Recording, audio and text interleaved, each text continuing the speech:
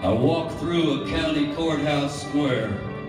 On a park bench, an old man was sitting there.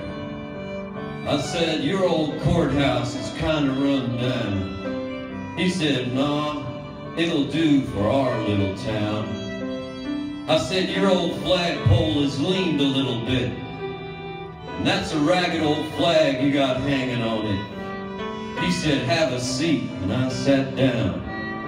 Is this the first time you've been to our little town? I said, I think it is. He said, I don't like to brag, but we're kind of proud of that ragged old flag. You see, we got a little hole in that flag there when Washington took it across the Delaware. And it got a powder burn the night Francis Scott Key sat watching it, writing, Say, can you see? It got a rip in New Orleans with Pakenham and Jackson tugging at its seams. And it almost fell at the Alamo besides the Texas flag.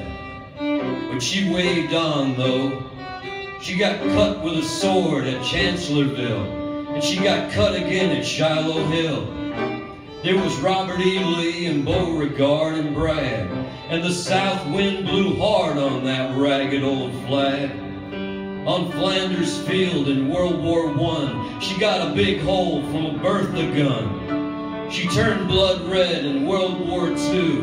She hung limp and low a time or two. She was in Korea, Vietnam. She went where she was sent by her Uncle Sam. She waved from our ships and upon the briny foam.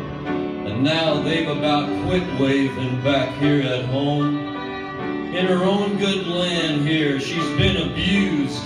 She's been burned, dishonored, denied, and refused. And the government for which she stands has been scandalized throughout the land. And she's getting threadbare and she's wearing thin. But she's in good shape for the shape she's in. Because she's been through the fire before, and I can believe she can take a whole lot more.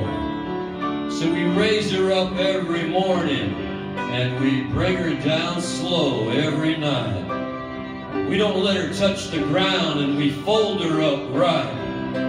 On second thought, I do like to brag, because I'm mighty proud of that ragged old flag.